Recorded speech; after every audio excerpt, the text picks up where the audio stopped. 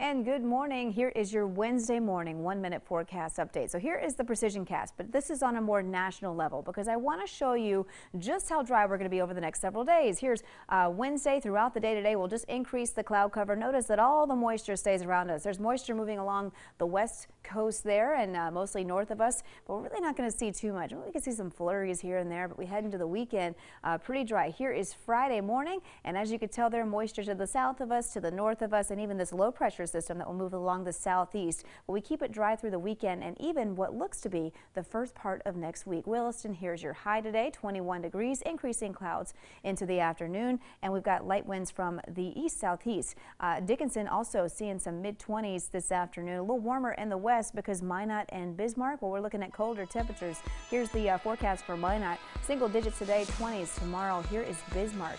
Back to the teens today and 20s tomorrow.